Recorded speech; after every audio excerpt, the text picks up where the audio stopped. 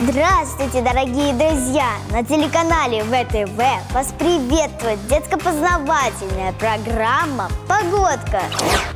Насколько влажный воздух, атмосфера, э, давление сверху и другие полезные приметы. Май холодный, год хлебородный.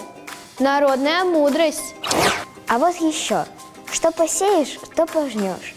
Вот я, как в прошлом году, копейку посадила, копейку выкопала. Все по-честному. Много астрологии. Совсем скоро созвездие Тельцов уступит свое место близнецам. Все. А у нас на даче в теплице редиска молодая, и лук, и петрушка. Дедушка говорит, это очень экономически выгодно.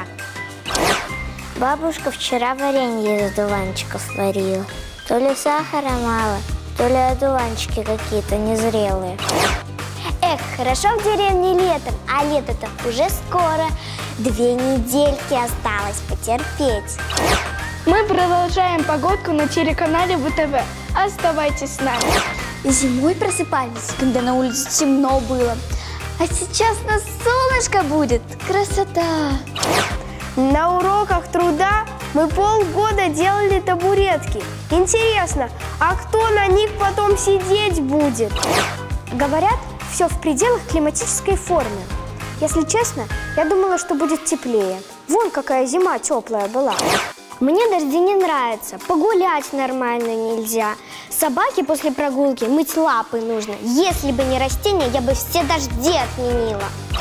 Как повысить удой молока в середине мая? Об этом смотрите другие передачи и на других каналах. Нужно сказать несколько слов об изотермах и изобарах. А что тут сказать? Я в этом ничего не понимаю. На этом о погоде все к этому часу. И знаете, расставание долгим не будет.